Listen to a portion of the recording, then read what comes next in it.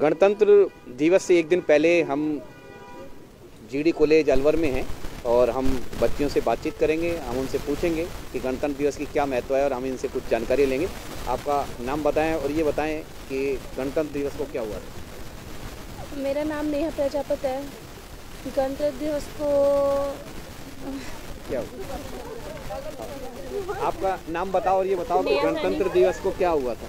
गणतंत्र दिवस क्यों मनाया जाता है? नहीं पता। अपना देश आज़ाद हुआ था शायद। देश आज़ाद हुआ था।